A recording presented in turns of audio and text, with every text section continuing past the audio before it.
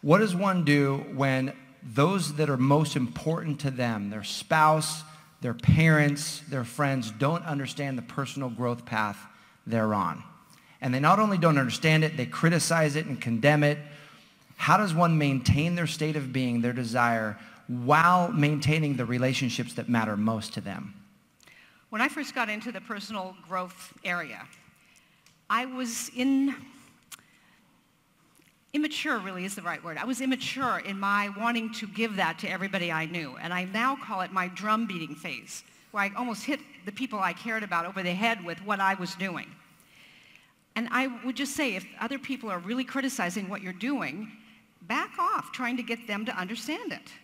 Just become it yourself. Your life is the best witness to what you're involved in.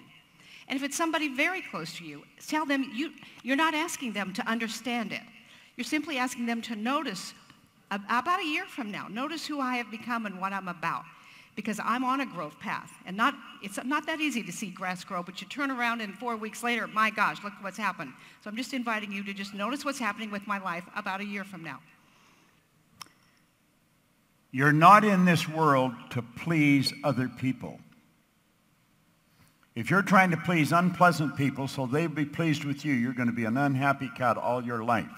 You've got to understand that you please you. You grow into what you're capable of being. They will adapt to you. It may take a while, but they'll adapt. You do not have to please everyone.